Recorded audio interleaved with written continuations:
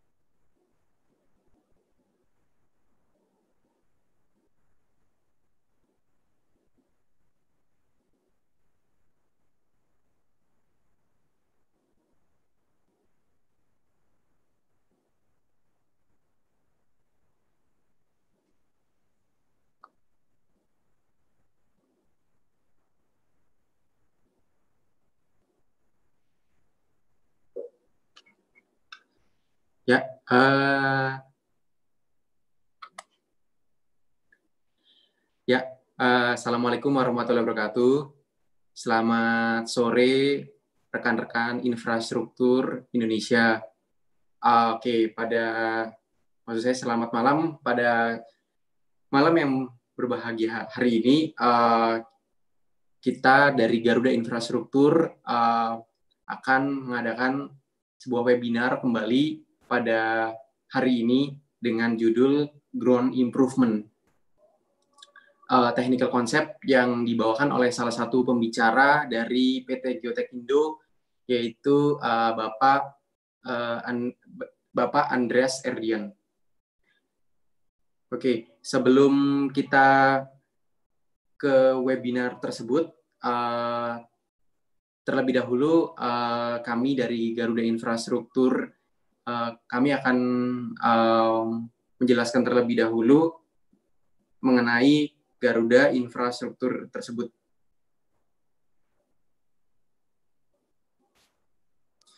Jadi Garuda infrastruktur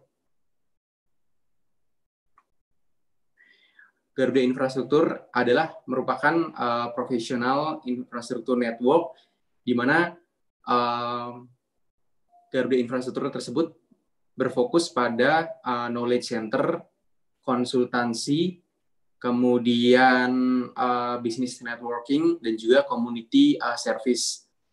Garuda Infrastruktur sebagai salah satu profesional infrastruktur network, kita memiliki beberapa uh, jaringan media sosial di Facebook di Garuda Infra di Garuda Infrastruktur, kemudian di Instagram at Garuda Infrastruktur, kemudian di Twitter at Garuda Infrastruktur, kemudian di YouTube di Garuda Infrastruktur, di channel Garuda Infrastruktur. Visi dari Garuda Infrastruktur adalah untuk menjadi salah satu uh, infrastruktur network dan juga hub bagi seluruh infrastruktur stakeholder di Indonesia di mana misinya adalah yang pertama agar menjadi uh, knowledge center dan juga referensi center bagi uh, seluruh stakeholder infrastruktur di Indonesia.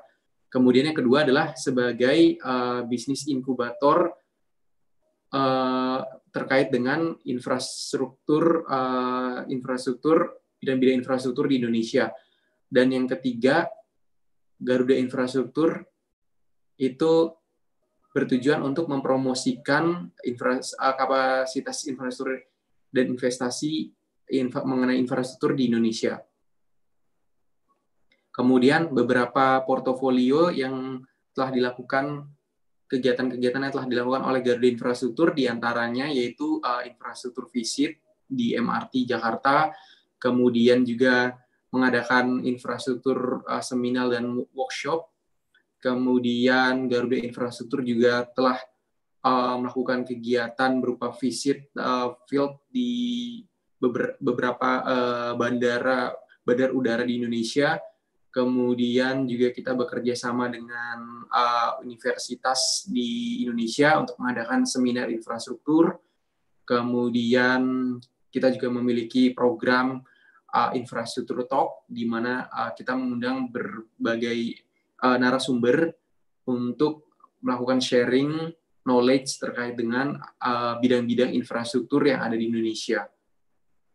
Kemudian selain itu kita juga uh, memiliki fokus di mana uh, salah satunya adalah berupa infrastruktur visit, yaitu mengunjungi uh, berbagai proyek-proyek uh, infrastruktur yang ada di Indonesia dan juga kita mengadakan uh, infrastruktur uh, training.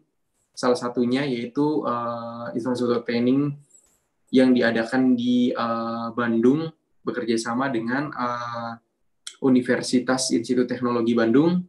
Kemudian juga uh, beberapa portofolio kami adalah beberapa kegiatan-kegiatan uh, lain. Di mana uh, tujuan dari kegiatan-kegiatan yang telah kami laksanakan tersebut adalah kita ingin uh, kita ingin men-share dan juga membagikan semua informasi terkait dengan infrastruktur dan proyek-proyek yang ada di Indonesia. Dan pada malam hari ini, uh, Garuda Infrastruktur bekerja sama dengan Geotekindo akan mengadakan uh, webinar yang berjudul uh, Ground uh, Improvement Technical Concept yang akan dibawakan oleh narasumber yang sudah cukup expert di bidangnya dan sudah sangat berpengalaman terutama menghandle project-project terkait dengan ground improvement ini. Dan kami harapkan rekan-rekan infrastruktur di Indonesia dapat uh, menyerap ilmu maupun informasi dari uh, expert ini. Uh, beliau adalah Bapak Andreas Erdian dari PT Geotek Indo yang sudah lebih dari lima tahun berkecimpung di bidang ini, bahkan mungkin uh, lebih dari lima tahun lebih ya. Dan sangat berbahagia kita bisa uh, bersama beliau pada malam hari ini. Oke, mungkin langsung kita uh, sambungkan dengan beliau ya. Halo? Halo ya. Halo ya. Siap. Siap. Uh, Bapak Erdian ya, kami panggilnya. Halo Bapak Erdian. Ya, Pak Derip, gimana Pak? Ya, siapa? Mungkin uh, bisa langsung uh, Bapak sampaikan untuk uh, informasi maupun uh, bahan materi terkait dengan ground improvement ini sehingga uh, kami dapat menyerap informasi dari Bapak. Silakan Pak, mungkin bisa langsung. Oke. Ya. Selamat malam Pak Derip dan teman-teman dari Garuda Infrastruktur. Eh, sebelumnya terima kasih atas kesempatannya yang diberikan kepada kami sehingga di sini saya dapat uh, sharing dan diskusi terkait masalah perbaikan tanah khususnya di proyek-proyek di Indonesia serta di sini saya akan sharing beberapa metode perbaikan tanah dan prinsip-prinsip dasarnya. Jadi memang metode perbaikan tanah itu sangat banyak untuk karena waktu kita terbatas, maka di sini saya akan hanya akan fokus untuk sharing uh, prinsip-prinsip uh, dasar dari perbaikan tanah serta beberapa contoh uh, dari penerapannya untuk proyek-proyek infrastruktur di Indonesia. Mungkin saya memulai dengan uh, sharing.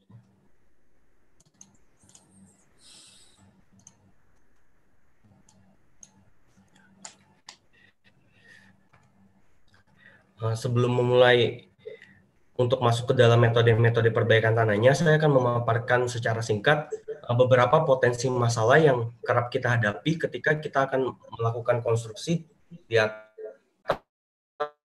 tanah-tanah yang bermasalah. Jadi tanah-tanah bermasalah ini pada umumnya yang dijumpai di Indonesia yang paling umum adalah uh, soft clay. Soft clay yaitu tanah clay atau silt dengan SPT di bawah 8 atau ada lucent yaitu tanah-tanah pasir lepas yang ketika terjadi gempa rentan terhadap likuifaksi.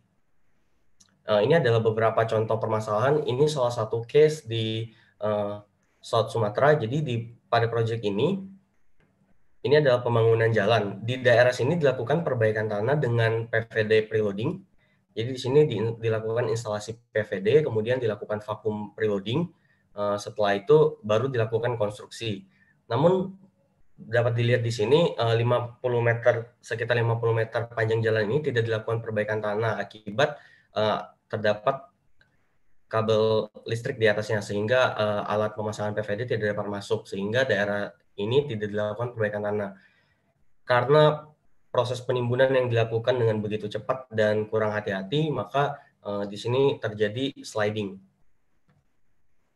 Kemudian masalah kedua yang biasanya muncul, kalaupun tidak sliding, biasanya kalau kita membangun di atas soft clay itu uh, sangat rentan terhadap lateral deformation. Jadi ketika kita timbun, tanahnya bergerak ke samping.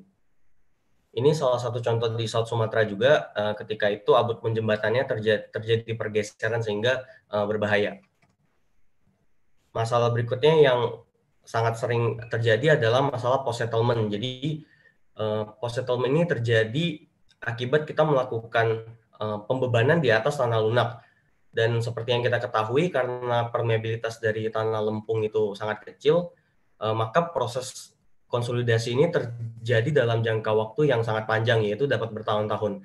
Pada kasus ini di salah satu pabrik di East Kalimantan waktu selesai konstruksi level struktur dan level infrastrukturnya adalah sama. Namun seiring berjalannya waktu, tanah di sekitarnya turun, namun karena strukturnya berdiri di atas tiang lancang, pondasi tiang yang cukup kuat, jadi tidak turun. Ini berbahaya karena terjadi differential settlement antara struktur dan tanah-tanah di sekitarnya. Yang berbahaya adalah ketika di bawah sini ada kabel-kabel atau ada jaringan pipa untuk operasional pabrik ini dapat terputus akibat permasalahan ini.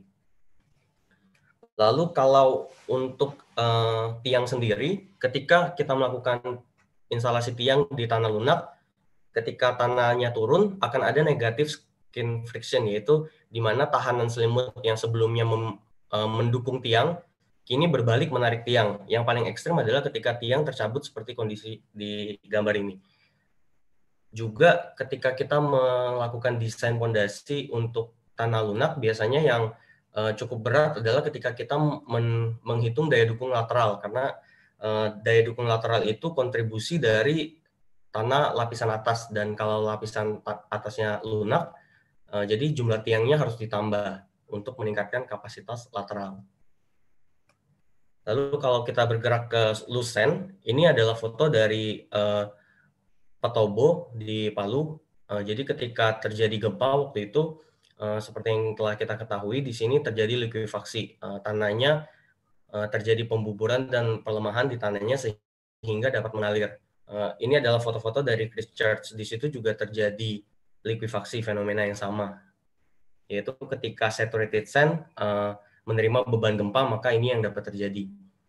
Sehingga permasalahan-permasalahan inilah yang memunculkan uh, butuh kebutuhan untuk melakukan perbaikan tanah sehingga sebelum kita melakukan konstruksi apa pun itu kita melakukan perbaikan tanah terlebih dahulu sehingga tanahnya sudah bagus sebelum kita melakukan konstruksi.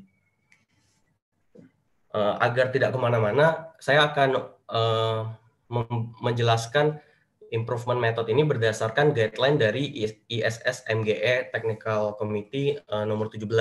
Jadi menurut ISS MGE ini ground improvement telah diklasifikasikan menjadi lima subkelas.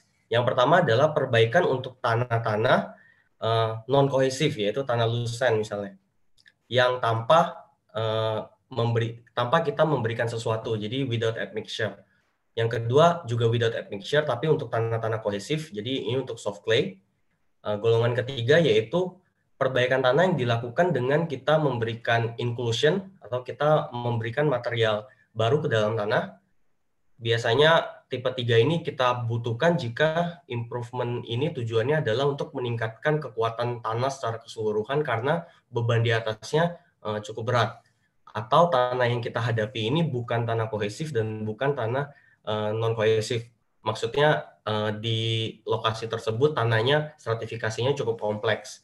Maka biasanya digunakan tipe ketiga atau tipe keempat tipe keempat ini sebenarnya mirip dengan tipe ketiga, tapi uh, kita bukannya memasukkan sesuatu ke dalam tanah, tapi kita mencampurkan tanah setempat dengan sesuatu binding agent, biasanya semen, sehingga tanah in situ ini diperkuat. Jadi ini adalah keempat uh, golongan dari ISSMDE untuk perbaikan tanah untuk tanah dasarnya.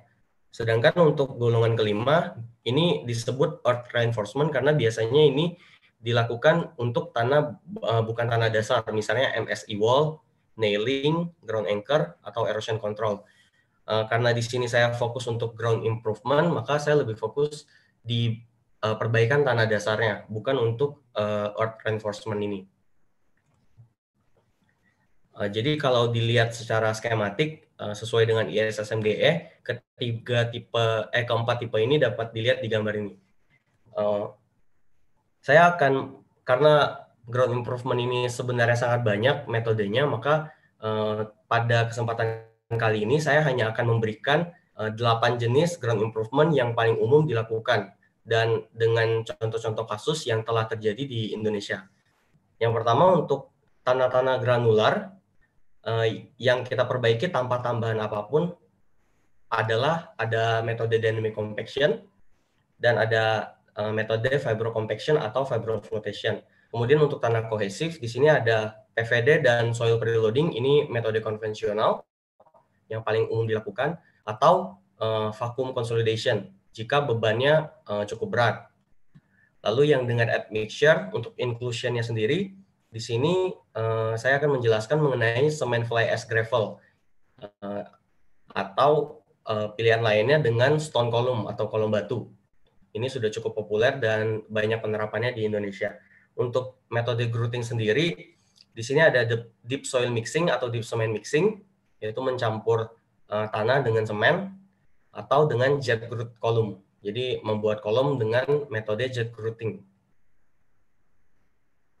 Untuk tipe pertama ini, uh, granular material, sebelum masuk ke perbaikan tanahnya, saya ingin uh, kita bersama-sama mereview sedikit mengenai likuifaksi. Jadi kalau teman-teman ingat waktu kuliah dulu dijelaskan bahwa uh, likuifaksi itu terjadi ketika gem beban gempa datang, ada shear stress yang terjadi di dalam tanah, ini adalah uh, garis shear stress yang terjadi ketika gempa. Ketika dia melewati tahanan dari tanah, yang biru ini adalah tahanan dari tanah, maka daerah ini adalah daerah yang terlikuifaksi. Jadi ketika stres yang terjadi melebihi resisten. Maka yang dapat kita lakukan untuk perbaikan tanah uh, sehingga tanahnya kuat terhadap likuifaksi adalah kita dapat meningkatkan grafik yang biru ini ke kanan dengan meningkatkan resistensi tanah atau kita mengurangi stres yang terjadi di dalam tanah ketika gempa itu terjadi. Jadi sebagian dari stres kita alihkan ke material lainnya. Untuk uh, metode yang without admixture granular material ini, ini sering kali kita beri kita lakukan uh, di tanah-tanah lusen. Karena biasanya tanah lusen itu untuk bearing capacity dan settlement uh, walaupun menjadi masalah bukanlah masalah utama. Yang paling sering terjadi adalah Eh, kerentanan terhadap likuifaksi seperti yang teman-teman ketahui di Indonesia ini kita dikelilingi oleh uh, banyak gempa-gempa tektonik sehingga uh, potensi terhadap likuifaksi ini sangat besar. Untuk dynamic compaction sendiri, dynamic compaction ini uh, dilakukan dengan cara kita menjatuhkan temper. Jadi ini temper kita jatuhkan berulang-ulang ke dalam tanah. Temper ini bebannya biasa berkisar antara 10 sampai 23 ton. Beban jatuhnya itu dengan beban jatuh tipikal 10 sampai 20 meter. Sehingga ketika kita jatuhkan akan terjadi impaksi dari uh, beban ini. Beban ini akan mendesak agar butiran tanah memadat dan udara keluar dari dalam uh, masa tanah.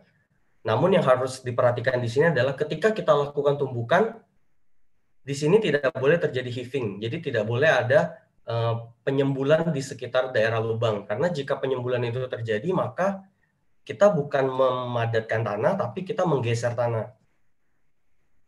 Uh, ini adalah foto-foto dynamic compaction yang kita lakukan. Jadi beban ini diangkat sampai ke tinggi jatuh tertentu Uh, di sini ada automatic release system dan beban akan jatuh untuk memukul tanah. Uh, pada gambar ini, ini ditunjukkan uh, dynamic compaction dengan metode true free fall. Jadi beban ini jatuh dengan gravitasi bebas tanpa ada halangan. Ada juga metode lainnya di mana uh, temper ini ada uh, talinya yang masih terikat dengan kren. Uh, jika metode itu yang digunakan, akan ada efisiensi energi sehingga energi tumbukannya tidak akan uh, semaksimal yang true freefall ini. Biasanya dynamic compaction kita lakukan secara uh, bertahap, yaitu biasanya ada tiga fase. Fase pertama kita lakukan seperti ini misalnya, dengan spasi tertentu, dengan jumlah pukulan tertentu, misalnya 2-3 pukulan. Kemudian fase kedua di antara fase pertama, kemudian baru ironing phase, yaitu fase ketiga di seluruh permukaan. Tujuan dari fase pertama dan fase kedua adalah kita memadatkan tanah hingga kedalaman tertentu. Misalnya uh, ini perhitungan yang di uh, diberikan di FHWA. Jadi ini salah satu desain dari perbaikan tanah. Misalnya dengan beban jatuh 23 ton, tinggi jatuh 18, uh, eh, maka untuk tanah lusen itu kita bisa dapat kedalaman perbaikan 8 meter. Maka di fase 1 dan fase 2 kita akan menumbuk tanah dan kita memadatkan hingga kedalaman 8 meter. Kemudian kita baru lakukan lagi uh, ironing phase, yaitu fase ketiga dengan energi yang lebih kecil, dengan jumlah tumbukan yang lebih dikit, tapi kita memadatkan seluruh permukaan. Tujuan dari fase ketiga ini adalah memadatkan tanah yang lebih dangkal. yang tidak dapat dipadatkan ketika fase pertama dan fase kedua karena ada uh, overlap di sini. Uh, tidak semua daerah ditumbuk ketika fase pertama dan fase kedua dilakukan. Untuk dynamic compaction ini, dia sangat cocok dilakukan ketika tanah yang kita hadapi adalah tanah granular, loose sand misalnya, atau uh, loose gravel. Kemudian bisa juga dilakukan untuk tanah-tanah timbunan yang partially saturated, jadi bukan tanah timbunan di bawah muka air tanah, uh, atau tanah-tanah yang uh, dapat terdrainase dengan bebas, atau tanah silt juga bisa jika nilai PI-nya di bawah 8, tanah clay soil juga masih bisa jika nilai WN-nya di bawah nilai PL. Jadi uh, ini tanah silt dan clay itu masih bisa dipadatkan dengan dynamic compaction dengan catatan-catatan tertentu.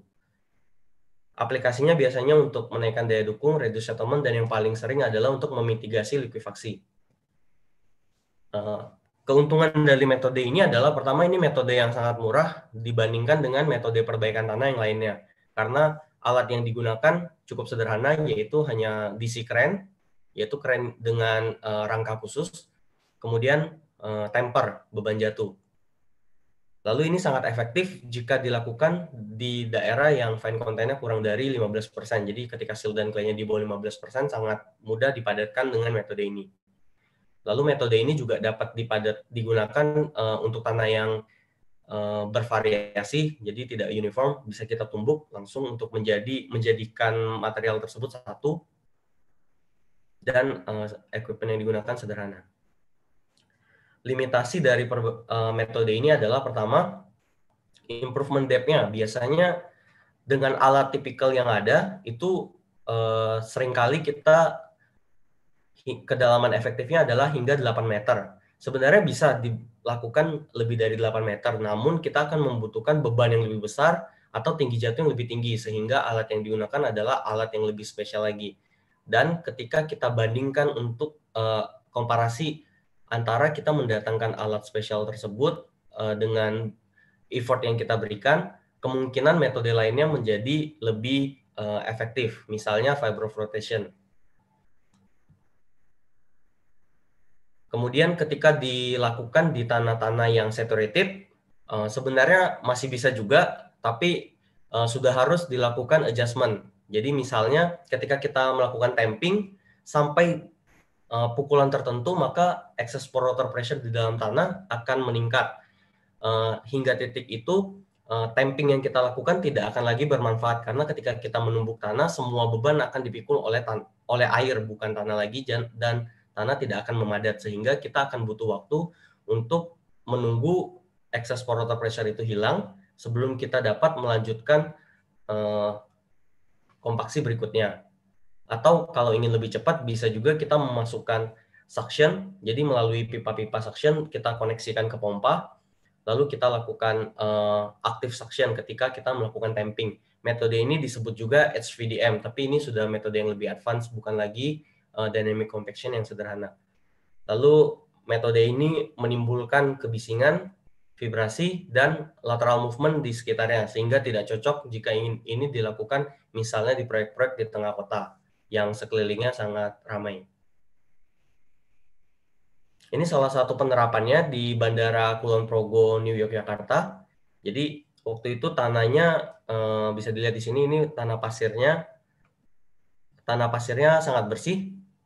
Jadi ini merupakan eh, pasir yang fine content-nya itu kalau dilihat di bawah 6%. Hanya ada satu lokasi yang 6%. Sisanya hampir di bawah 1%. Lalu kedalaman perbaikan tanah di sini itu tipikalnya hanya hingga 6 meter yang main dalam. Jadi memang ini lokasi yang sangat cocok dilakukan dynamic compaction. Ini merupakan salah satu contoh eh, hasil dari perbaikan tanah. Jadi sebelum perbaikan tanah kita melakukan CPT. Jadi ini CPT sebelum perbaikan tanah.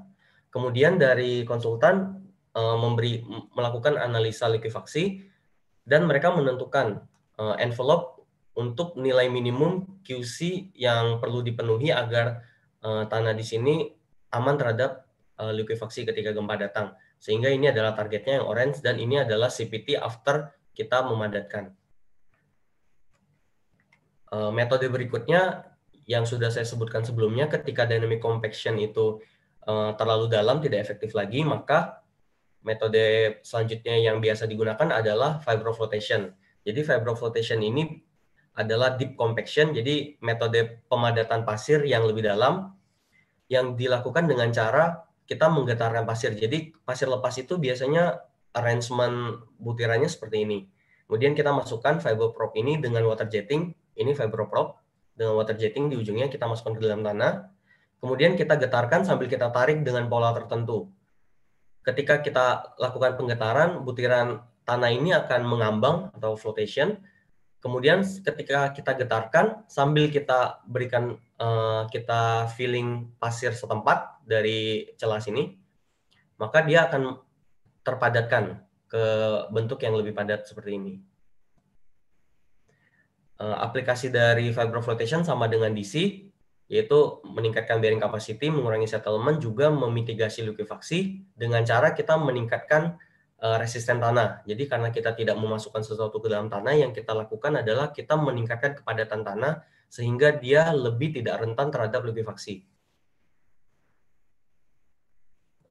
Metode ini cocok untuk tanah cohesionless, jadi tanah uh, granular, hingga kedalaman 40 meter.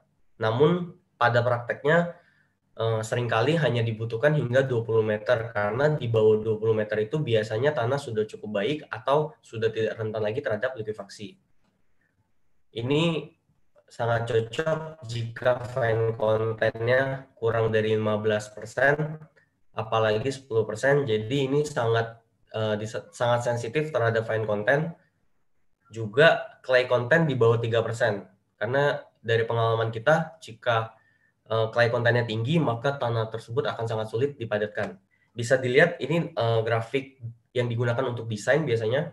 Jadi ini adalah SPT before improvement, yang ini adalah SPT after improvement. Bisa dilihat uh, jika fine content-nya tinggi, katakanlah uh, 15%, maka setelah improvement kita lakukan, SPT-nya itu berubahnya tidak signifikan, paling dari 5 menjadi 8. Namun ketika fan content kita bandingkan dengan fan content yang rendah, katakan 2%, dari SPT yang awalnya 7 bisa berubah menjadi uh, 20-an. Jadi memang fiber flotation ini uh, cocoknya di tanah-tanah yang fan content-nya kecil. Ini juga merupakan zona di mana fiber flotation ini cocok dilakukan. Zona A itu yang paling cocok, zona D itu yang paling tidak cocok jadi semakin besar ukuran uh, butirnya, semakin cocok dia terhadap fiber flotation juga. Zona C dan D ini sudah tidak hampir bisa dikatakan secara praktis tidak dapat dipadatkan lagi dengan efektif. Untuk uh, keuntungan dari dari metode ini, improvement depth-nya bisa kita kontrol sehingga karena kita menggunakan kren dan prop yang bisa di-extend, ini tergantung uh, kebutuhan kita lalu less disturbance ke surrounding karena tidak seberisik dan tidak se uh, bergetar metode dynamic compaction yang di mana kita menumbuk-numbuk tanah dengan uh, hammer. Limitasi dari metode ini adalah ketika fan content tinggi maka metode ini tidak efektif lagi. Kemudian harganya lebih mahal dibanding dengan dynamic compaction. Lalu uh, construction time-nya juga lebih lama karena setiap kali kita memasukkan dan menarik uh, fibro propnya itu kita butuh waktu tunggu karena kita butuh menggetarkan tanah tersebut hingga dia memadat. Salah satu proyek di mana kita menerapkan fibro flotation adalah di Pulau Reklamasi Pantai Indakapuk. Jadi di situ kedalaman perbaikannya itu bervariasi dari 4 sampai 12 kalau nggak salah yang paling dalam. Jadi untuk daerah yang di bawah 6 meter kita padatkan dengan dynamic compaction, tapi yang lebih dari 4 biasanya kita padatkan dengan flotation. Uh, misalnya di sini, sini ada QC sebelum improvement juga, jadi di sini ada lucerne, lalu di sini ada clay, tapi awal mula kita masuk itu uh, eh, QC-nya hampir sama di sand dan di clay. Setelah kita lakukan pemadatan, perbaikan, uh, ini adalah envelope-nya. Nah, ini adalah uh, QC after-nya. Salah satu proyek fiber flow yang sekarang masih ongoing juga ada di West Apron Ngurah. Jadi di situ ada eh, sedikit reklamasi dengan pasir lepas lalu kita padatkan. Berikutnya saya akan menjelaskan uh, metode perbaikan tanah untuk tanah kohesif. Jadi dari tadi lucent, sekarang kita pindah ke soft clay. Soft clay ini metode yang paling sering dilakukan adalah preloading. Kedua jenis ini dua-duanya preloading, namun yang satu menggunakan soil, yaitu beban tanah. Yang kedua kita menggunakan tekanan atmosfer atau vakum. Jadi kita review sedikit tentang uh, prinsip dari preloading. Jadi preloading itu adalah uh, sebelum kita melakukan konstruksi di masa tertentu uh, sebelum konstruksi itu kita lakukan preloading yaitu kita bebani daerah konstruksi seluruhnya dengan fill sehingga uh, terjadi settlement saat konstruksi. Lalu tanah fill ini kita ganti dengan tanah struktur, uh, bukan tanah struktur maksudnya dengan uh, struktur yang nantinya akan dibangun. Sehingga kita harapkan uh, settlement yang terjadi ketika struktur ini dibangun menjadi sangat kecil atau minim. Bisa dibayangkan jika kita tidak melakukan preloading, maka settlement yang akan terjadi ketika struktur ini operasional adalah ini. Namun dengan kita melakukan preloading, maka settlement-nya hampir tidak ada lagi. Lalu untuk vertical drain sendiri, mungkin teman-teman sudah sering dengar, vertical drain sekarang sudah sangat umum dilakukan jadi karena permeabilitas tanah clay yang sangat kecil ini, konsolidasi bisa terjadi hingga bertahun-tahun karena konsolidasi hanya akan selesai ketika uh, air excess port water pressure di daerah terjauh sudah keluar dari dalam tanah. Namun dengan vertical drain kita memotong uh, arah aliran itu yang seharusnya ke atas atau ke bawah, kini dapat bergerak secara radial ke kiri dan ke kanan. Dengan begitu uh, biasanya konsolidasi dapat selesai dalam waktu kurang dari enam bulan. Untuk vertical drain itu bentuknya seperti ini. Ini yang sangat pasaran sekarang uh, digunakan di Indonesia ada dua tipe, yaitu tipe corrugated dan tipe fishbone. Untuk cara instalasi PVD eh, secara skematis seperti ini. Jadi ada uh, ini base mesinnya, di sini ada mandrel baja, ini mandrel bajanya. Kemudian di bawah ini ada angkor plate angkor plate ini bentuknya seperti ini. Jadi vertical drain kita kaitkan ke angkor plate, kemudian kita push ke dalam tanah, kemudian uh, mandrel bajanya kita tarik. Ketika kita tarik, angkor plate ini akan tersangkut sehingga PVD tidak ikut. Kemudian ketika sampai atas kita potong PVD, kita bisa pasang angkor plate lagi, lanjut ke titik berikutnya. Ini contoh foto-foto di lapangan. Kemudian setelah vertical drain terpasang, kita uh, melakukan koneksi antara vertical drain ini dengan horizontal drain. Sebenarnya horizontal drain ini bukan sesuatu yang wajib sifatnya. Jika di lapangan kita memiliki pasir drainase yang cukup baik, permeabilitasnya tinggi, maka horizontal drain ini tidak dibutuhkan. Dengan metode preloading itu, uh, excess pore water pressure ketika keluar dari PVD masuk ke drainage layer akan bisa keluar. Namun jika tidak ada, uh, maka horizontal drain ini dapat menggantikan fungsinya dari uh, sand sand blanket. Ini ada beberapa variasi dari horizontal drainage, ada yang bentuknya tubular, ada yang bentuknya pipi. Jika di metode konvensional soil preloading, kita membebani tanah dengan cara kita menekan tanah dari atas dengan kita bebani misalnya dengan tanah atau dengan batu sehingga akan ada terjadi settlement. Kemudian di uh, ini analoginya misalnya ini ada gelas aqua, lalu kita bebani gelas aqua itu dengan tekanan, maka di dalam gelas aqua ini akan ada excess pore water pressure yang positif. Kemudian tekanan air positif ini akan mencari jalan keluar, yaitu misalnya di sini jika ada sedotan atau PVD, air akan masuk ke situ kemudian keluar sehingga uh, akan terjadi deformasi di gelas aqua. Akan ada settlement di sini. Bentuknya biasanya seperti ini. Jadi ketika kita tekan akan ada penggembungan tanah di sekitar sekeliling uh, daerah konstruksi.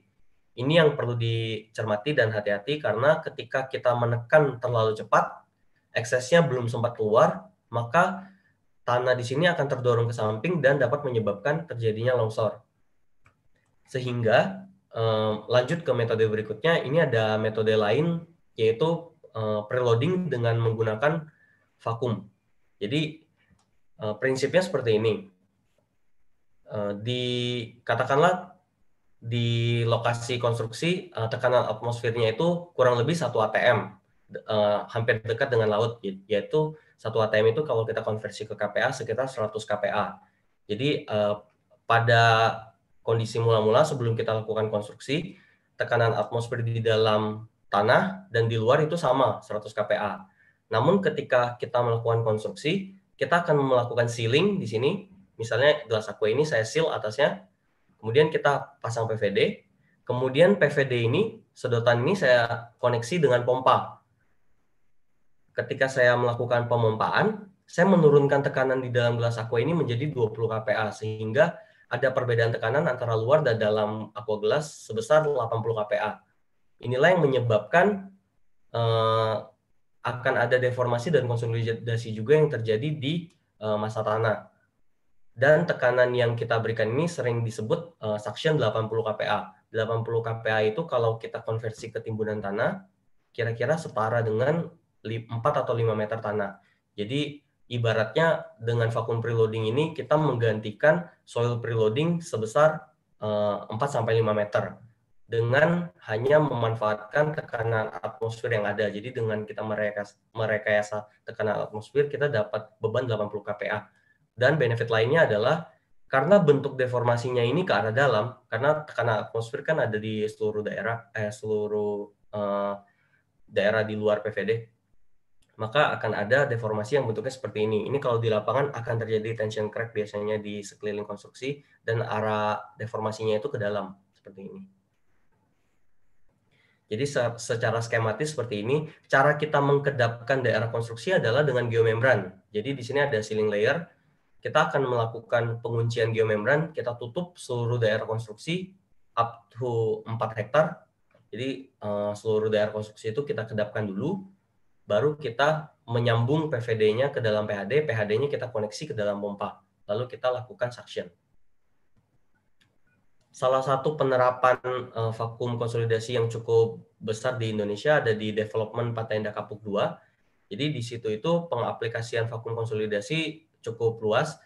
Uh, dari Torot di situ ada kata raja Torot, di situ menggunakan vakum. Ada konstruksi jalannya juga, jalan uh, lingkungannya. Lalu ada high rise building. Jadi di situ walaupun strukturnya sebenarnya tetap dengan vakum walaupun tanpa vakum mereka akan menggunakan pile. Hanya bedanya kapasitas lateral dari uh, apartemen maupun office towernya itu dapat meningkat dengan signifikan ketika tanah di bagian atasnya sudah kita padatkan terlebih dahulu. Serta uh, benefit lainnya adalah di sekeliling lingkungan uh, dari tower nanti ketika ada post settlement uh, sudah teratasi ketik di masa konstruksi. Ada juga daerah perumahan housing, jadi di daerah ini juga dilakukan vakum preloading sehingga nanti ke depannya tamannya tidak akan turun-turun lagi, sudah settle. Lalu ada juga pengaplikasian vakum preloading untuk galian danau. Jadi bisa dilihat di foto ini, ini adalah danau reservoir. Karena di sini sistem polder, jadi dia akan butuh, butuh banyak uh, retention basin di dalam zona PIK 2 itu. Mereka udah coba waktu itu dilakukan open cut. Jika dilakukan galian langsung, 2 meter saja galiannya bisa langsung longsor. Namun ketika tanahnya sudah dipadatkan terlebih dahulu, kita konsolidasikan, baru dilakukan open cut, itu bisa relatif stabil seperti lereng ini. Ini bisa dilihat kondisi awalnya itu rawa-rawa. Lalu kita lakukan instalasi PVD. Kita lakukan instalasi horizontal drainage. Horizontal drainage untuk vakum sistem ini biasa uh, harus menggunakan tipe tube karena uh, eh, PHD ini perlu kita koneksikan ke pompa. Berbeda dengan di soil preloading yang airnya keluar di horizontal drainage itu melalui tekanan gravitasi. Di sini kita akan lakukan active suction, maka butuh yang seperti ini modelnya. Kemudian seluruh area akan kita tutup dengan geotextile, separator, lalu ini adalah geomembran. Jadi kita tutup lagi dengan geomembran. Geomembran ini adalah impermeable layer. Jadi kita tutup, kita lakukan sealing, lalu kita pasang alat uh, instrumentasi. Mungkin teman-teman di sini banyak yang nanya kenapa uh, bisa melakukan bisa kita kedapkan seluruh daerah konstruksi ini. Padahal geomembrannya kan bisa dilihat ini cuma di atasnya saja yang ditutup, di bawahnya nggak ada. Itu jawabannya adalah karena di sekeliling ini adalah soft clay. Jadi karena soft clay ini permeabilitasnya sudah rendah, tidak perlu kita sealing lagi. Dia tidak akan menarik air dari luar sini. Air yang akan tertarik hanya air di antara uh, dua PVD. Ketika air yang di sini sudah masuk ke PVD, maka konsolidasi itu sudah selesai. Lalu kita nyalakan uh, pompa, kita mulai vacuum preloading sambil kita lakukan uh, daily monitoring. Jadi di sini kita lakukan monitoring harian, kita catat vacuum pressure-nya seperti apa, settlement-nya seperti apa. Kemudian ketika sudah 3-4 bulan biasanya sudah hampir selesai, kita lakukan analisa Asauka untuk kita lihat derajat konsolidasinya sudah berapa persen. Untuk di daerah uh, kemudian uh, vacuum preloading itu terbatas karena tekanan atmosfer itu maksimum hanya 100 kPa dan yang biasanya dijanjikan di proyek-proyek itu minimum adalah 80 kPa yang digaransi walaupun bisa dicapai 90 tetap yang kita janjikan hanya 80 karena ada efisiensi dari pompa, efisiensi dari sistem. Sehingga ketika beban kerja kita di atas tadi misalnya beban strukturnya itu besar sehingga 80 kPa ini tidak cukup, kita perlu kombinasikan dengan soil preloading jadi sembari kita melakukan vacuum reloading, di atasnya kita tutup lagi dengan geotextile separator, kemudian di sini kita mulai backfill. Jadi bebannya bisa lebih dari 80 kPa beban preloadingnya. Atau jika eh, seperti kondisi di peak, tanah timbunan itu mahal harganya, eh, sehingga beban preloading itu kita gantikan dengan air. Jadi eh, prinsipnya adalah apa pun yang kita taruh di atas ini dan dapat membebani daerah ini adalah preloading maka waktu itu kita berpikir kenapa tidak kita memanfaatkan air yang berlimpah di situ. Uh, tingginya di sini kolam airnya adalah satu setengah meter sehingga kita dapat ekstra 15 kPa. Jadi totalnya improvement di sini itu minimum 95 kPa. Ini contoh foto di salah PLTU Jawa 7. Uh, eh, waktu itu kita lakukan soil preloading, eh, uh, water preloading dan vacuum preloading juga. Jadi ini dike-nya, kita bangun dike, kemudian kita pompa air masuk untuk extra preloading. Ini salah satu foto di proyek kita di PLTU 3. Jadi waktu itu kondisi tanah aslinya seperti ini. Ini adalah intake air.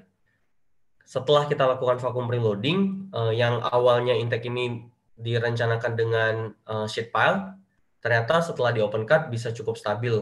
Lalu dilakukan redesign dan digunakan natural slope pada akhirnya. Eh, masuk ke tipe ketiga. Tipe ketiga ini adalah perbaikan tanah dengan uh, admixture inclusion. Jadi kita akan memasukkan sesuatu ke dalam tanah sehingga tanahnya menjadi kuat. Di sini saya akan membahas uh, February replacement dan uh, eh, CFG pile. Uh, rigid inclusion itu adalah ground improvement di mana kita partially uh, excavate atau kita fully displace tanah setempat yang uh, propertinya jelek kita gantikan kemudian dengan material yang lebih baik. Jadi di sini uh, kata kuncinya ada di part partially excavate or displace. Jadi bedanya dengan bore pile adalah ketika di bore pile kita akan fully excavate soil, kita keluarkan kemudian kita masukkan konkret. Namun di inclusion ini uh, biasanya kita hanya partially excavate atau kita displace tanahnya. Material yang digunakan ini berbagai macam material bisa digunakan, misalnya sand, gravel, concrete, fly ash gravel, limestone, mortar, dan lain sebagainya dapat digunakan. Metode ini sekarang perkembangannya sudah sangat banyak karena uh, teknologi yang terus berkembang, uh, mesin-mesin baru, uh, metode-metode baru terus bermunculan. Di sini saya hanya akan membahas prinsipnya saja. Ini yang sering uh, membingungkan, yaitu bedanya apa antara rigid inclusion, karena rigid inclusion ini kalau teman-teman lihat tadi uh, salah satu material pengisinya bisa konkret. Jadi apa bedanya ini dengan pile? Jadi jawabannya ada di uh, konsep dari load transfernya. Kalau di shallow foundation, beban itu kita transfer langsung ke tanah tanah yang dangkal. Kalau di pile foundation, uh, load transfer konsepnya itu beban kita transfer ke dalam pile, jadi dipikul oleh skin friction dan end bearing dari pile. Kalau di pile foundation itu keduanya, jadi tanah dan pile sama-sama memikul. Kalau di LT, uh, eh, kalau di ground improvement dengan rigid inclusion, di sini dibutuhkan satu lagi konstruksi di atas uh, file-file yang kolom-kolom yang kita buat, yaitu namanya LTP, Load Transfer Platform. Jadi platform ini berfungsi untuk mentransfer beban, jadi beban struktur atau beban operasional kita itu ditaruhnya tidak bisa langsung di atas rigid inclusion, harus ditaruh di atas LTP. Biar di sini ada mekanisme transfer beban dulu, sehingga beban dapat dipikul bersama oleh tanah dan eh, tiang-tiang uh, ini. Kemudian tiang ini biasanya tidak diinstal hingga uh, tanah keras, jadi diinstal hingga tanah yang medium saja. Jadi settlement yang akan terjadi di ground improvement dengan rigid inclusion ini akan lebih besar daripada uh, sistem pile. Ini adalah uh, prinsip yang membedakan antara ground improvement dan pile foundation. Lalu di sini juga karena dia akan ada settlement, uh, jadi sebelum uh, beban itu dipikul oleh tanah, di sini akan ada settlement dan akan muncul negative skin friction. Ini juga perlu diperhatikan dalam uh, mendesain. Ini adalah yang tadi saya bilang metode perbaik metode rigid inclusion itu cara konstruksinya sangat banyak. Namun karena waktu kita terbatas, di sini saya hanya akan fokus di dua, yaitu pertama fibro replacement untuk stone column, uh, wet method, atau ada compaction column. Jadi dua metode ini. Yang pertama adalah fibro replacement. Jadi February replacement ini sebenarnya sudah cukup umum, bahkan sudah masuk ke SNI perancangan geoteknik. Kalau kita buka di SNI perancangan geoteknik itu, ini refer to type B. Jadi dia ada tiga ada tiga tipe di situ, type A, type B, type C. Yang ini stone column wet method itu masuk ke type B. Jadi ini diinstal dengan cara uh, sebenarnya ini sama persis dengan fibro flotation yang sudah dijelaskan sebelumnya. Namun ketika kita lakukan fibro flotation, di atasnya ini akan dilakukan feeding uh, material berupa gravel sambil dipadatkan. Jadi gravel dimasukkan sambil dipadatkan sehingga nanti di dalam tanah akan terjadi kolom batu. Jadi bedanya dengan fibro flotation, kalau untuk memitigasi likuifaksi tadi fibro flotation hanya meningkatkan resistensi tanah, densifikasi dari material tanah tersebut, uh, pasir tersebut. Namun di fibro replacement ini kita juga mengurangi CSR. Jadi stres yang dipikul ketika gempa datang, sebagian besar stres akan dipikul oleh kolom batu dan hanya sebagian yang dipikul oleh tanah. Jadi tanahnya sudah pasir yang sudah memadat, eh, beban yang diberikan lebih kecil pula. Jadi ini sangat efektif untuk digunakan dalam memitigasi likuifaksi. Kemudian eh, kolom batu ini juga dapat memberikan drainase. Eh, jadi ketika beban gempa masuk, ada excess pore water pressure di dalam tanah, eksesnya dapat lari juga ke dalam kolom batu. Ini adalah uh, konstruksinya di lapangan. Biasanya untuk mengontrol, karena di sini akan dilakukan water jetting, biar lumpurnya tidak ke mana-mana, kita akan lakukan galian pit dulu, uh, lalu kita lakukan fibro fibro flotation, ketika sudah sampai bawah, kita lakukan feeding material. Gravelnya kita masukkan sambil kita getarkan, sambil kita tarik berulang-ulang. Ini adalah salah satu proyek kita di TPA Sidoarjo. Uh, di sini tujuan dari stone column-nya adalah untuk uh, slope stability karena di sini rencana timbunan TPA-nya itu cukup tinggi dan tanahnya lunak sehingga dibutuhkan perkuatan. Jadi seperti ini. Lalu metode berikutnya yang akan saya bahas adalah uh, stone column dry method. Ini tadi disebut juga uh, compaction column. Jadi kalau di SNI Geoteknik ini ini disebut type C, di mana uh, stone column kalau yang tadi kan kita butuhkan air uh, waktu konstruksi, kalau yang ini tanpa air, jadi lebih bersih. Ini dapat kita lakukan uh, dengan cara oh bedanya lagi karena ini kita lakukan konstruksi tanpa water jetting, jadi uh, lumpurnya biasanya lebih terkontrol, bahkan tidak ada lumpur. Sehingga bedanya dengan yang uh, wet method, efek uh, drainasenya lebih efektif di dry method ini. Uh, ini kita lakukan instalasi dengan cara begini. Jadi bisa teman-teman lihat ini ada tube. Kalau di gambar ini, ini adalah tube bajanya. Ini adalah songsong baja mirip tremi tapi ukurannya lebih besar, 50 cm. Kemudian ini ada vibrating uh, hammer di atasnya. Jadi kita getarkan sambil kita uh, masukkan ke dalam tanah mirip dengan pemanjangan tapi bukan dipukul tapi digetarkan aja masuk ke dalam tanah. Kemudian ketika sampai ke dalam rencana di corong ini, di corong ini akan dilakukan feeding batu. Kemudian akan kita tarik. Ketika ditarik di sini ada one way valve. Jadi uh, ketika ditarik akan ada batu yang keluar discharge kemudian habis ditarik kita bisa tekan kembali sambil kita getarkan sehingga batu yang keluar di sini akan terpadatkan dan akan mengembang. Jadi uh, walaupun tiupnya hanya 50 cm, di sini stone column yang dibuat bisa sampai 80 cm. Ini salah satu contoh konstruksi stone column kita, dry method ada di runway 3 dan taxiway 3 di Soekarno-Hatta. Jadi ini adalah kolom-kolom batunya. Waktu itu kita lakukan instalasi kolom batu ini untuk memitigasi likuifaksi. Lalu berikutnya uh, metode berikutnya adalah CFG pile. Jadi kalau uh, eh, CFG pile ini sebenarnya adalah pengembangan dari stone column. Stone column itu punya keterbatasan di daya dukung. Jadi ketika uh, stone column ini kita bebani, misalnya ini stone column, kita bebani di atasnya, kekuatan dari stone column ini bukan hanya dari material batunya aja, tapi dari uh, confining pressure tanah di sekitarnya. Dia juga mengandalkan confining pressure tanah di sekitarnya, sehingga ketika dilakukan instalasi stone column di tanah yang terlalu lunak, biasanya SU di bawah 25 kPa, stone column ini relatif tidak signifikan uh, efeknya.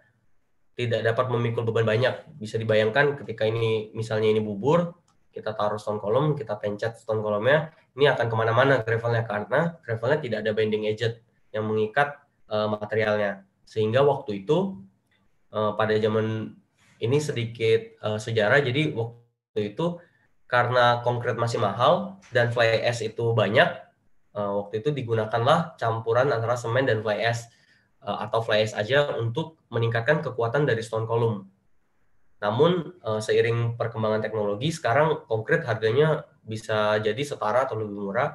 Maka yang sering dilakukan adalah menggunakan low grade konkret bisa dari K50 sampai K300 untuk uh, instalasi CFG pile ini walaupun namanya masih CFG, Cement Fly Ash Gravel Pile. Tapi pada prakteknya sudah hampir jarang banget digunakan fly ash. Lebih sering digunakan langsung low grade konkret. Ketika tanah terlalu lunak, ini adalah solusi karena stone column mungkin udah tidak efektif lagi. CFG pile ini uh, alat instalasinya sama persis dengan stone column yang tadi. Jadi uh, ada vibrating hammer juga. Hanya bedanya feeding material di sini kita gunakan uh, low rate concrete atau dia ada tipe kedua yaitu ketika uh, tanah yang harus kita tembus misalnya ada lensa tidak bisa di push lagi dengan mandril ini maka kita akan gunakan long, long auger. Jadi yang ini itu sifatnya uh, partially replace. Kita akan memasukkan long auger ini ke dalam tanah. Kemudian sambil kita berikan pressure, ini akan ada inject konkret di dalamnya. Jadi lubang tidak akan pernah terbuka bebas. Jadi ketika kita ketika kita pelan-pelan tarik akan sambil kita uh, push konkretnya. Ini salah satu penerapannya di Indonesia di kereta cepat Jakarta Bandung di beberapa stasiunnya dan beberapa uh, high embankment area kita lakukan instalasi CFG file. CFG file itu kalau udah selesai uh, bentuknya seperti ini. Kemudian di proyek ini karena uh, desain LTP-nya tidak mau terlalu tebal, maka digunakan file cap. Jadi file cap ini optional, bisa digunakan bisa tidak. Jika file cap digunakan, maka LTP-nya bisa lebih tipis. Kalau file cap-nya tidak digunakan, LTP-nya butuh lebih tinggi atau bahkan butuh diperkuat dengan geogrid. Lalu kita masuk ke tipe terakhir. Tipe ini adalah uh, mirip juga dengan rigid inclusion tadi. Hanya bedanya ini adalah kita mencampurkan uh, tanah setempat dengan binding agent.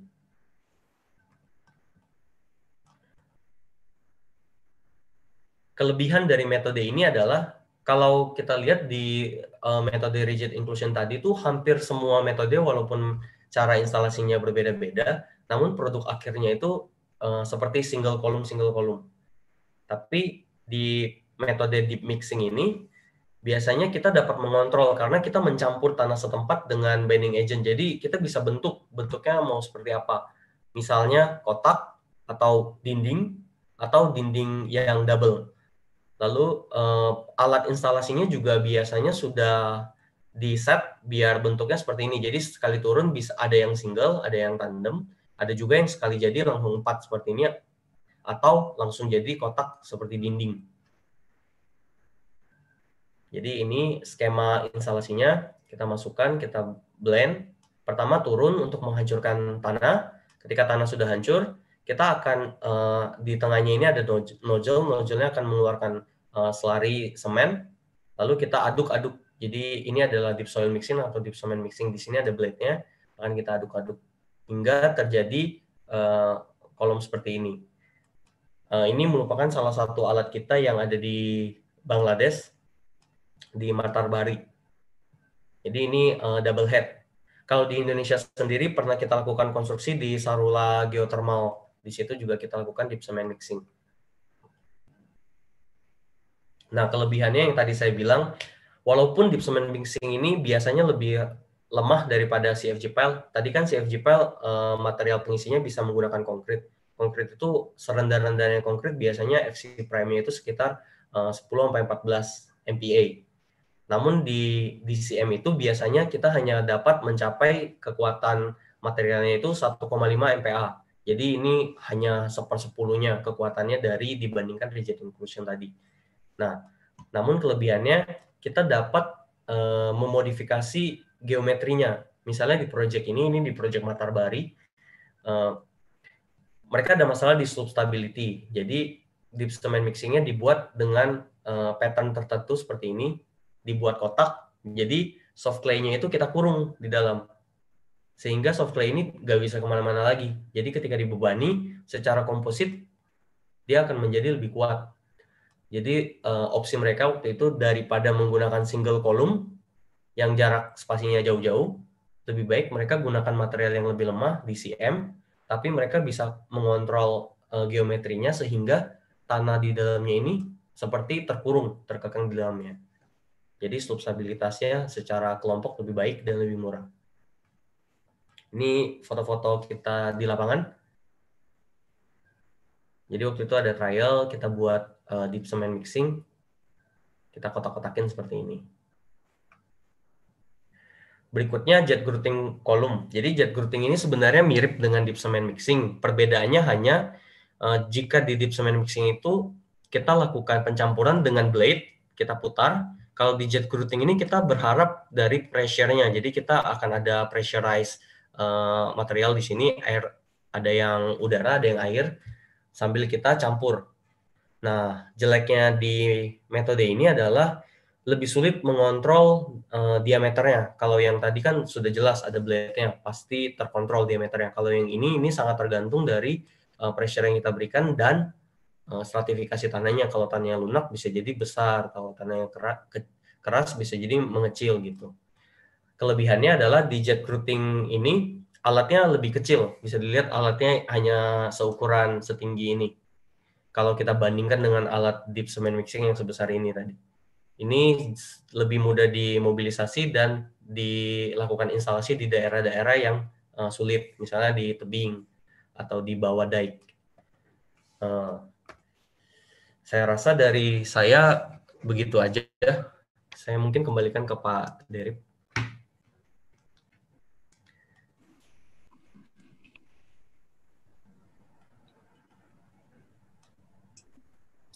Ya, uh, terima kasih kepada Bapak Erdian yang telah menyampaikan uh, paparan dan penjelasannya. Ya. Sangat menarik sekali. Uh, apalagi terkait dengan uh, project-project real di lapangan gitu terkait dengan uh, soil improvement ini tentu mungkin uh, para peserta webinar sendiri mungkin uh, pernah mengalami kasus-kasus uh, serupa pada project-project yang um, mereka sedang kerjakan gitu mungkin bisa jadi salah satu uh, bahan masukan atau uh, solusi untuk uh, menyelesaikan permasalahan-permasalahan yang ada pada project-project tersebut. Ya, uh, Bapak Erdian, mungkin uh, setelah ini akan ada sesi Q&A dari pes para peserta webinar ya. Nanti oh, ya. ya, boleh nanti kita coba uh, kita coba buka salah buka beberapa pertanyaan yang sudah masuk baik itu di uh, Zoom ini maupun uh, di live YouTube channel Garuda Infrastruktur. Uh, mari kita buka salah satunya. Oke, kita pilih mungkin yang cukup hmm, cukup menarik ya. Oke, ini.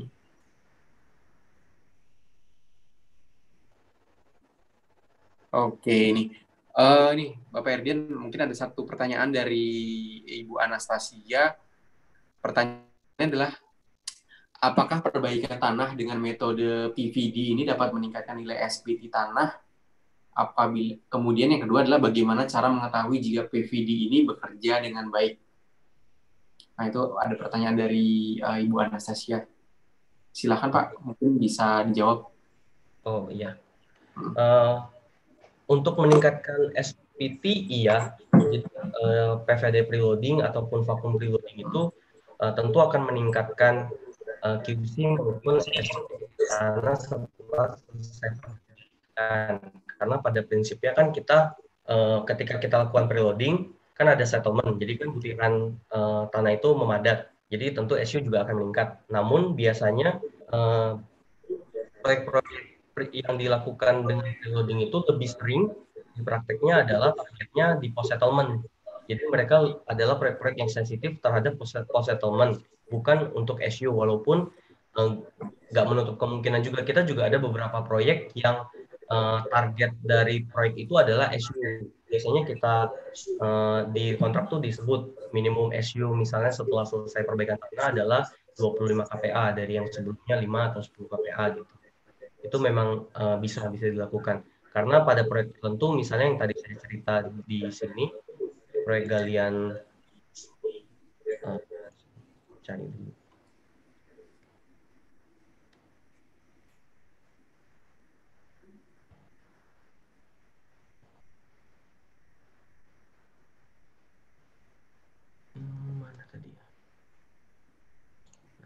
Misalnya di proyek galian seperti ini, waktu itu kita ada specified. Jadi di uh, target improvementnya salah satunya adalah SU setelah improvementnya, setelah dites dengan fancier adalah minimum 25 KPA. Atau di proyek-proyek apartemen di PIK 2, itu juga kita specified karena yang mereka butuhkan adalah SU untuk menghitung uh, daya dukung lateral. Seperti itu sih Pak. Oke, siap. Uh, untuk Tadi pertanyaan kedua, pertanyaan, pertanyaan keduanya apa ya Pak?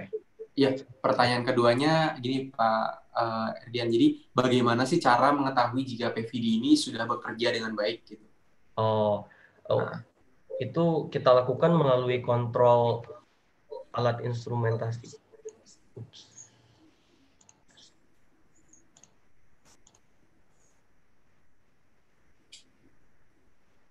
Jadi kalau kita lakukan improvement itu kita biasa selalu memasang instrumentasi. Nah, dari alat instrumentasi ini bisa kita lihat PVD itu sudah bekerja dengan baik apa belum. Misalnya di sini ada piezometer. Piezometer ini kita taruh di kedalaman tertentu sehingga kita tahu eh, waktu kita berikan beban untuk soil preload ya misalnya, waktu kita berikan beban apakah terjadi ekses di dalam tanah. Kemudian ketika kita membaca di settlement plat ada penurunan, apakah betul excess for water pressure itu sudah terdisipasi? Jangan-jangan tidak ada, jangan-jangan uh, tanahnya bukan terkonsolidasi tapi tergeser ke samping kalau backfillnya terlalu cepat, misalnya seperti. Di sini juga ada biasanya ada uh, extensometer. Jadi dengan extensometer itu kita bisa tahu settlement plat kan biasanya kita hanya taruh di permukaan jadi ketika kita baca di permukaan turun satu meter, apakah betul satu meter itu adalah kontribusi dari uh, sepanjang PVD? Jangan-jangan PVD-nya ternyata hanya efektif di 5 meter awal atau terputus di tengah hanya bagian atas yang bekerja, bagian bawahnya tidak settle. Seperti itu. Oke, siap. Oke, uh, itu pertanyaan pertama dari para peserta. Kemudian ada pertanyaan berikutnya, uh, Pak Erdian. Pertanyaannya ini dari Bapak Fahrizal Naufan Indrawan. Pertanyaan adalah, apakah stone column itu dapat dimodelkan dalam aplikasi numeris? Jika bisa dan memungkinkan, itu sebenarnya bagaimana cara memodelkan stone column dalam aplikasi numeris geoteknik seperti Plaxis atau Geosindo? Oh, Hmm. sebenarnya yang paling tepat adalah mel- melakukan modelnya dengan tiga dimensi. Pak. Sebenarnya terga- tergantung ya, tergantung proyeknya mau mau hitung untuk apa. Tapi sebenarnya yang paling tepat adalah dengan memodelkan stone column itu sebagai material. Kan kita bisa modelkan dia sebagai biomaterial, misalnya dengan morkulum atau dengan hardening soil model. Kita jadikan dia klaster eh, batu. Eh, tapi pada prakteknya lebih sering kita melakukan ekuivalensi. Jadi kita gunakan model 2D, lalu eh, kolom batu ini kita hitung ekuivalennya terhadap satu meter dari eh, plane strain-nya Plaxis. Dengan begitu kita bisa memodelkan dia di program-program metode elemen hingga. Materialnya nanti tinggal di replace aja. Jadi ada tahap tertentu kita tertentu kita replace dengan stone column. Oke.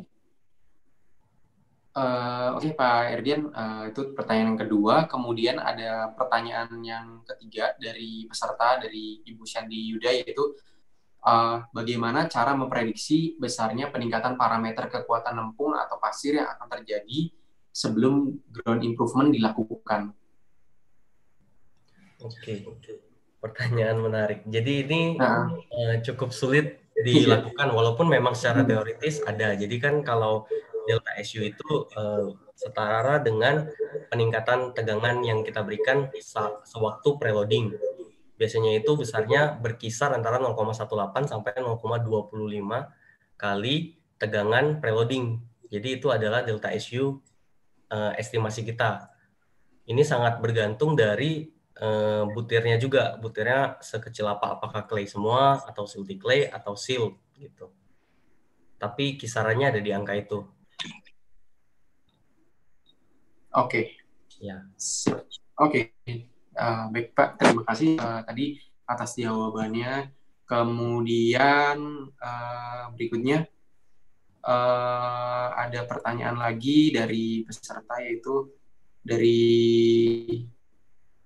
Pak Alusius Martinus. Eh, pertanyaannya adalah kira-kira berapa kedalaman efektif untuk metode vertical drain ini dan bagaimana membuat barrier jika di daerah dekat dengan jika daerahnya itu dekat dengan sungai atau laut dan tipe tanahnya permeabilitasnya sedang sampai tinggi dengan kedalaman tanah lunak sampai dengan 20 sampai 30 meter eh, baru ketemu tanah konsistensi sedang. Maksudnya untuk soil preload mungkin ya jadi Ya, betul. seberapa efek eh seberapa panjang PVD itu masih efektif Ya. jadi eh, PVD itu sebenarnya bisa tetap bisa Eh, kita punya proyek salah satunya di Terminal 5 Canggih Airport di situ itu kedalaman instalasi PVD-nya yang paling dangkal itu 35 meter, yang paling dalam itu hingga 58 meter kalau saya tidak salah ingat. 58 kerja walaupun eh, dalam. Nah, tapi biasanya untuk proyek-proyek seperti itu PVD-nya spesifikasinya akan khusus karena dia akan butuh PVD yang spesifikasinya lebih tinggi. Misalnya eh, discharge capacity-nya eh, under large pressure, jadi kan ada tegangan lateral di dalam tanah makin dalam makin besar.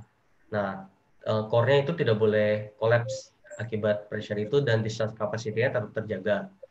Kemudian yang berikutnya perlu diperhatikan kalau tanah eh, tanah lunaknya tebal, kita kan berarti estimasi settlement-nya besar juga. Jadi ketika settlement itu terjadi, PVD di dalam tanah kan akan meliuk, akan mengikuti strain tanah. Nah, itu juga ada tes eh, namanya tes uji folding atau kinking di PVD yang di mana bisa kita eh, tentukan misalnya kita sudah menghitung kira-kira di situ strain tanahnya 15%. Maka kita harus spesifikasikan di eh, dokumen tender bahwa PVD yang digunakan ketika strainnya 15% itu masih bisa bekerja dengan baik. Jadi harus dilihat lebih detail. Tapi bisa pada prinsipnya ada juga proyek yang seperti itu. Di dekat Semarang tuh biasanya tanah lunaknya sangat dalam. Oke. Ya. Oke. Uh, terima kasih uh, Pak Erdian itu. Kemudian uh, pertanyaan selanjutnya dari Pak Ahmad uh, Pak Ahmad yaitu apakah memungkinkan kalau file dikomunikasi dikombinasikan dengan PVD dan kira-kira konsep awalnya yaitu tanah dasar dikonsolidasikan sekaligus daya dukung ditingkatkan dengan file apakah bisa gitu? Uh, dikombinasikan dalam artian dilakukan PVD dulu baru dipiling itu bisa. Itu sudah dilakukan di beberapa apartemen dan di office tower. Tanahnya sudah mendingan walaupun uh, untuk walaupun untuk metode preloading sendiri biasanya uh, bukan yang kayak sen yang dipadatkan akan SPT-nya naik jauh nggak seperti itu. Hmm. dia hanya akan naik misalnya hingga 25 kPa tapi sudah cukup membantu baru kita lakukan instalasi file. Itu akan membantu terutama di lateral. Kalau untuk aksial hampir tidak ada perbedaan. Waktu itu dari konsultannya sendiri sih seperti itu sih. Dari mereka menghitung jadi tanpa improvement tanpa PVD de, uh, tiang yang dibutuhkan untuk aksial tuh segini. Untuk karena ada masalah lateral jadi segini. Tapi ketika dilakukan perbaikan tanah ternyata aksialnya kurang lebih sama, lateralnya dia bisa menghemat 30%. Karena dari 30% itulah sehingga dikompar biaya dengan kita perbaikan tanah dibanding dengan 30% tiang lebih murah mana. Kemudian diputuskanlah dilakukan preloading terlebih dahulu. Itu salah satu cerita kita di project di PIK 2. Jadi bisa pada prinsipnya. Hmm.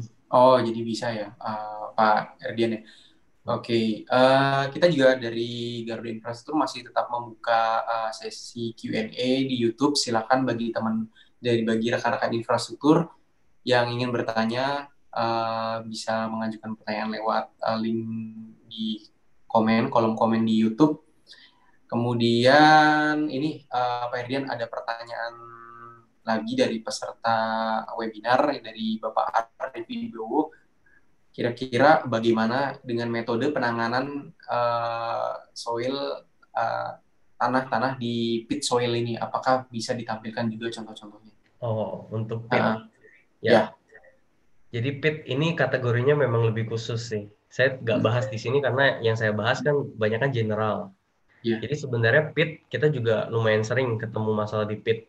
Tapi permasalahannya di pit itu uh, cukup kompleks. Karena pit itu bukan hanya dia lunak uh, water contentnya tinggi, tapi dia juga masih ada masalah creep yang cukup besar. Jadi kan kalau uh, tanah organik itu dia akan uh, membusuk dan ketika dia membusuk dia akan ada settlement tambahan di situ. Jadi sejauh ini uh, kalau dengan spesifikasi kan kita sering ketemu di project itu akan ada requirement post settlement. Ketika post settlementnya disebut 10 eh, cm dalam 10 tahun itu yang paling sering muncul biasanya akan sulit. Jadi pit itu masih bisa kita perbaiki dengan preloading tapi konsekuensinya tetap akan ada post settlement walaupun tidak sebesar yang uh, tanpa perbaikan gitu. Tapi dia gak akan sesempurna kita perbaiki soft clay. Uh, sepengetahuan saya seperti itu. Kemudian pit itu juga ada masalah di pH. Jadi karena pH-nya ini kalau dicampur dengan semen juga bermasalah, jadi deep cement mixing untuk di tanah-tanah pit ini juga akan butuh aditif. Lalu water contentnya juga tinggi, jadi tidak mudah juga untuk kita melakukan rigid inclusion di situ. Bisa jadi uh, bubar. Memang kalau pit uh, cukup challenging sih. Tapi dia harus dilihat juga pitnya kan uh, kategorinya masih muda atau sudah cukup tua. Kalau dia sudah cukup lapuk, kadang-kadang ada juga kita ketemu pit yang behaviornya itu adalah soft clay. Jadi lebih penting behaviornya daripada uh, si tanahnya itu sebenarnya apa. Tapi kalau masih muda, masih ada serabutnya, masih berbentuk kayu, itu akan cukup sulit. Oke, okay. wah emang ya siap. Emang ini ya cukup challenging ya kalau di pit soil ini Pak Erdian ya. ya. Memang sepengetahuan saya seperti itu, tapi kalau dari teman-teman misalnya ada yang uh, ada informasi lain yang mau ditambahkan, silahkan. Iya, boleh. Oke, uh, kemudian ini ada pertanyaan lagi, Pak Ian, dari Ibu Anastasia. Pertanyaannya adalah, uh, bagaimana metode untuk penanganan negatif skin friction yang terjadi pada tanah lunak? Jadi negative screen friction itu kan terjadi kalau uh, tiangnya sudah ada, kemudian tanahnya settle. Hmm. Nah, ini bisa kita atasi dengan cara kita jangan pasang tiang dulu, tapi kita preloading dulu biar terjadi dulu settlementnya semua, baru kita lakukan instalasi tiang. Dengan begitu negative screen friction-nya tidak terjadi atau terjadi tapi kecil. Itu yang bisa dilakukan. Yang sering dilakukan di metode konvensional biasanya kalau tanpa preloading kan ya simply kita menghitung saja estimasinya nanti akan ada negative screen friction seberapa maka daya dukung tiangnya kita kurangin kita tambah dalam atau tambah banyak seperti itu tapi kalau dengan preloading ya kita bisa mengignore negative screen frictionnya. Oke. Oke oke. Terima kasih Pak Erdian atas jawabannya. Uh, kemudian ini ada pertanyaan lagi dari peserta yaitu uh, bagaimana kira-kira cara memonitor pekerjaan growthing apakah ada in, instrumentasi khusus gitu? Kalau routing uh-uh. itu uh, sebenarnya akan ada loggernya juga. Akan ada data loggernya yang bisa merecord uh, pressure yang diberikan berapa. Kemudian uh, estimasi diameternya itu berapa. Itu bisa terikut sih. Biasanya sih hanya dari situ. Atau sebelumnya pasti di hampir di semua soil improvement pasti kita ada lakukan trial. Jadi di jet recruiting juga seperti itu. Biasanya kita lakukan misalnya trial satu uh, kolom. Setelah selesai akan kita pit test. Jadi kita gali kembali untuk kita lihat apakah uh, misalnya tadi saya bisa tahu diameternya apakah betul sesuai rencana 50 cm. Jangan-jangan jadinya lebih besar. Kalau lebih besar ya pressure harus dikurangin itu pasti akan banyak trial sebelum kita produksi. Oke, siap. Ya. Oke, Pak Erdian, uh, ini ada pertanyaan lagi dari peserta dari Muhammad Ihsan yaitu berapa perbandingan lama preloading dengan air untuk mencapai tekanan yang sama dengan soil loading pada case vakum dan soil preloading?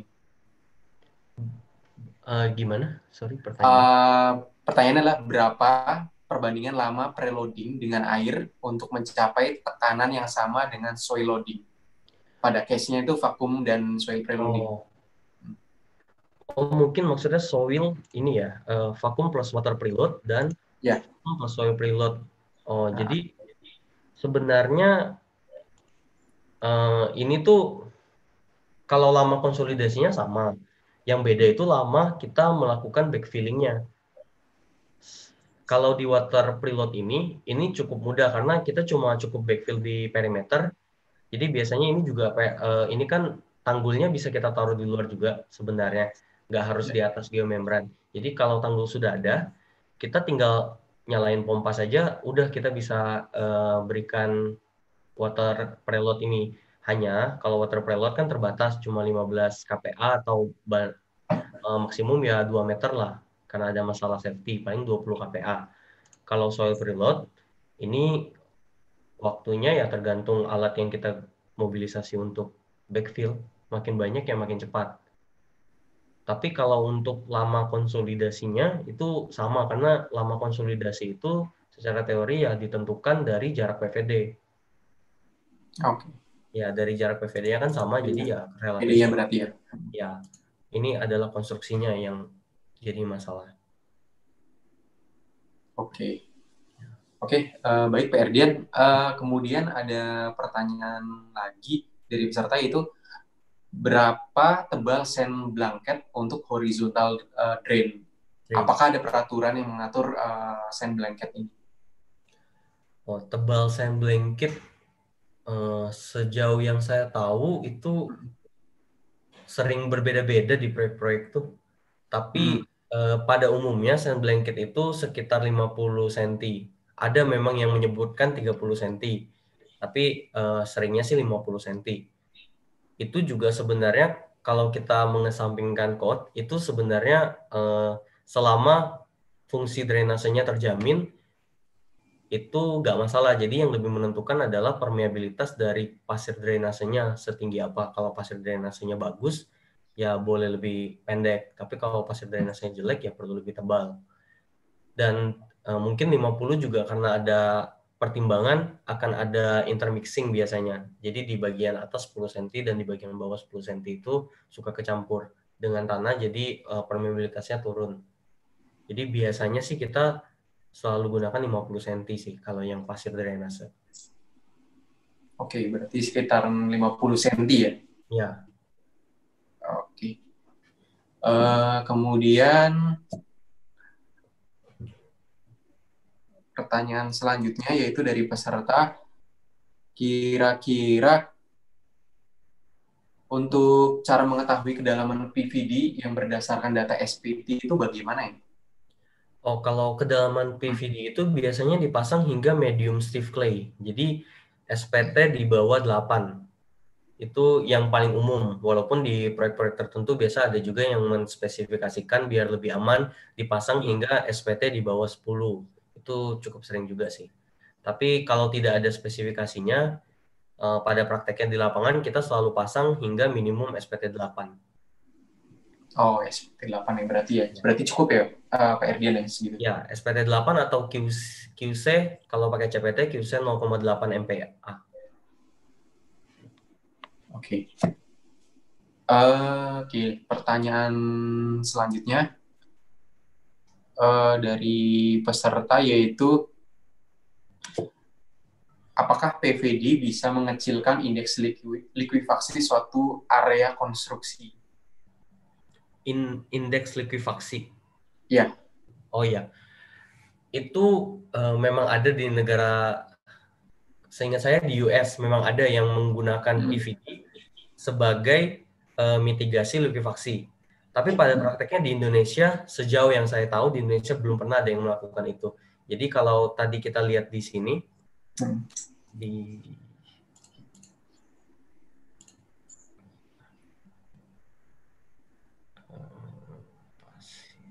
Nah, di sini jadi untuk memitigasi likuifaksi itu ada tiga cara.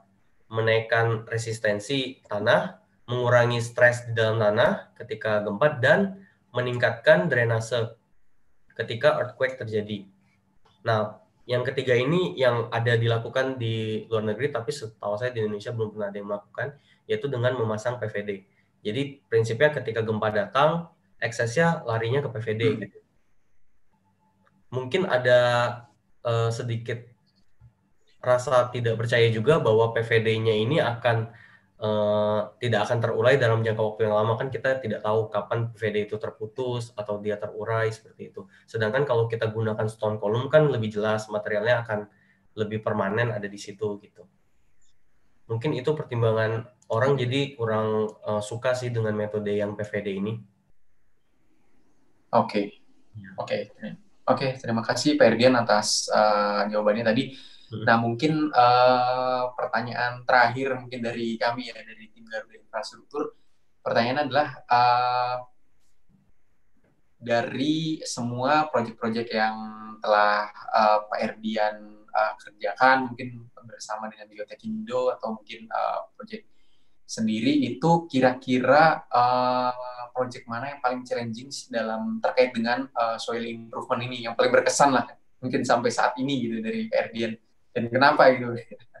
Bisa dijelasin nggak kan ini. Nah, hmm. hmm. yang paling challenging banget oh, mungkin. susah nah, dijawab. hampir semua project itu ada tantangannya. Oh gitu. Ya soalnya kan uh, masalah yang dihadapi beda-beda gitu. Hmm. uh, cukup sulit sih kalau dipilih mungkin uh, mungkin vakum di Palembang. Itu cukup challenging juga buat kita karena di situ oh. uh, kalau jalan tol di daerah pedalaman itu uh, konstruksinya apalagi rawa-rawa gitu, terus kan dia memanjang daerahnya, jadi kita harus pindah-pindah terus. Lalu tanahnya sangat lunak, jadi situ cukup berat. Oh mungkin mobilisasi alatnya juga ya? Nah. Ya.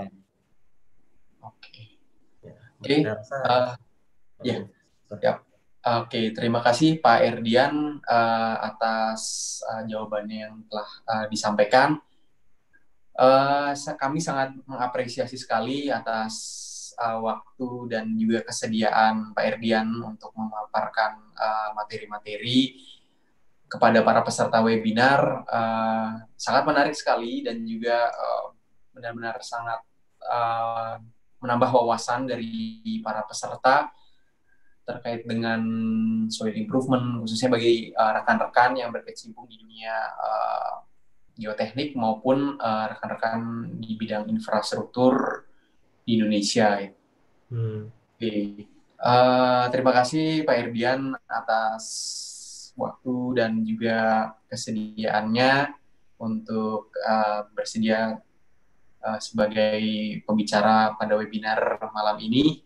Ya, Terima kasih Pak Irfan. Ya, sama-sama ya. juga ke teman-teman di Garuda Infrastruktur udah memberikan ya. kesempatan biar kita bisa sharing di, hmm. Di sini. Siap. Mohon maaf juga kalau ada yang saya sampaikan tidak berkenan atau uh, kurang pas gitu. ya, boleh. Siap. Dan perlu rekan-rekan infrastruktur ketahui bahwasanya uh, webinar pada malam hari ini terselenggara berkat kerjasama antara uh, eh, PT Garuda Infrastruktur Prima bekerja sama dengan PT Geotek Indo uh, untuk mengadakan acara webinar pada malam hari ini, di mana uh, acaranya berjalan dengan lancar dan juga uh, sesuai untuk waktunya. Oke, okay, uh, terima kasih Pak Erdian atas waktunya dan terima kasih pula atas uh, kehadiran teman-teman uh, webinar sekalian. Tapi sebelum kita tutup, uh, untuk berikutnya akan ada uh,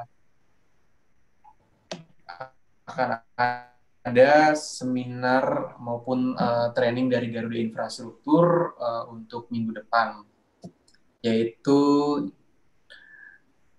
ini kita tampilkan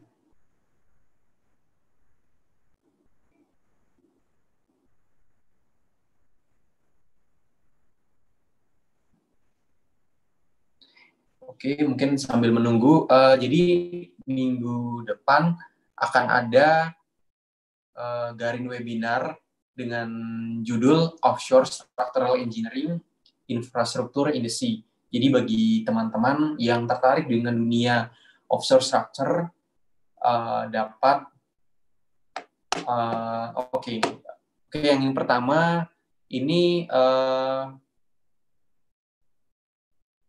ini adalah uh, untuk acara training yang berikutnya yaitu offshore structure engineering infrastruktur uh, ini di oke okay, ini yang pertama ini di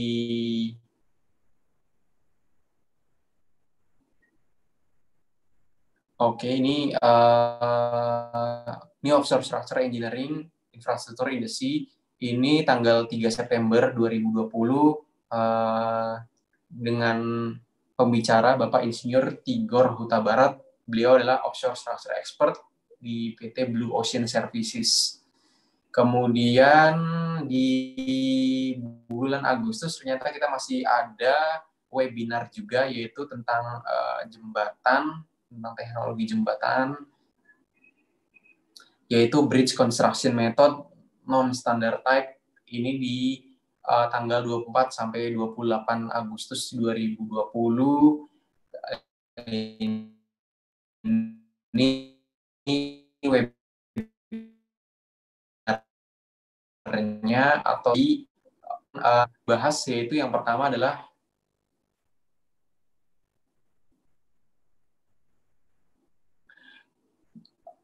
topik-topik yang akan dibahas yaitu adalah konseptual of Construction Engineering Method for Bridge, kemudian Code and Standard for Construction Bridge Project, kemudian juga akan ada uh, topik mengenai case study mengenai jembatan yaitu Construction Method for Concrete Box Bridge, kemudian case study yang kedua Construction Method for Steel Bridge dan case study yang ketiga itu Construction Method for Cable State Bridge.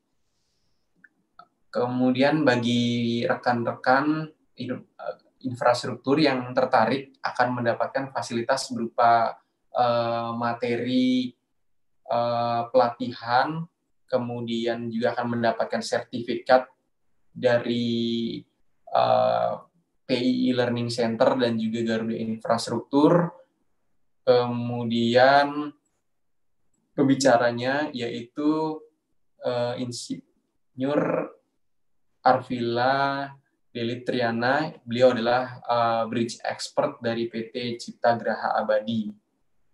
Dan kemudian untuk course fee-nya yaitu satu setengah juta per partisipan. Dan oke okay, ini uh, akan disiarkan pula melalui uh, live di Zoom. Oke, mungkin itu yang dapat kami sampaikan dari uh, Garuda Infrastruktur. Terima kasih banyak atas kehadiran rekan-rekan infrastruktur sekalian dalam acara pada malam hari ini. Kami harapkan acara hari ini bermanfaat bagi rekan-rekan infrastruktur sekalian dan jangan lupa untuk uh, terus memantau channel-channel uh, sosial media kami di website Garuda Infrastruktur, di Instagram Garuda at Garuda Infrastruktur, di Twitter Garuda Infrastruktur, di Facebook Garuda Infrastruktur maupun di uh, YouTube Garuda Infrastruktur. Oke, okay. uh, jargon Garuda Infrastruktur yaitu cintailah infrastruktur, maka kita mencintai bangsa dan tanah air Indonesia. Demikian acara pada malam hari ini. Semangat terus bagi rekan-rekan infrastruktur. Sampai jumpa pada pertemuan berikutnya. Selamat malam. Malam, Pak.